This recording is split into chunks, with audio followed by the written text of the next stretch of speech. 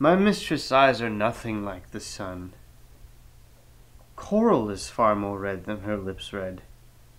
If snow be white, then why her breasts are dun. If hair be wires, black wires grow from her head. I have seen roses damasked red and white, but no such roses see I in her cheeks. And in some perfumes there is more delight than in the breath that from my mistress reeks. I do love to hear her speak, though I know that music hath a far more pleasing sound. Granted, I have never seen a goddess go.